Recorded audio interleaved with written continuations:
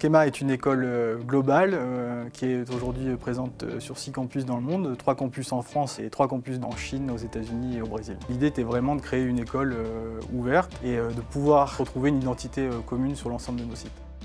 Les technologies sont au service de l'enseignement et de la collaboration, de la vie, du lien, de l'échange, de la convivialité. Surface Hub permet de travailler à plusieurs sur, sur un document et d'avoir aussi cette interaction par le visuel. Pour euh, pouvoir travailler ensemble, c'est beaucoup plus simple que de travailler sur un petit écran euh, d'ordinateur. Et on met aussi du coup un, visage euh, sur, sur les personnes. Et pareil, hein, les étudiants ont aussi cette, facilité de ce fait à interagir entre eux. Il y a un usage enseignement, conférence, il y a un usage travail entre étudiants, il y a entre étudiants de différents sites, il y a un usage aussi évidemment pour les collaborateurs au sein de l'école.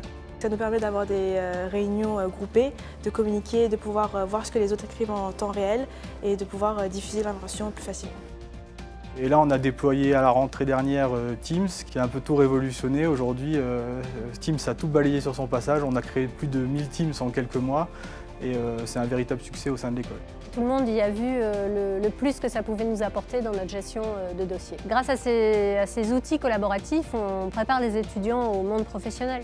Il y a un vrai impératif de ce point de vue-là de knowledge management, de, pouvoir euh, travailler en équipe de manière efficace sans perte de données. C'est à ça que l'école nous forme, c'est ce qu'on utilisera plus tard euh, pour être le plus efficace possible dans notre vie professionnelle.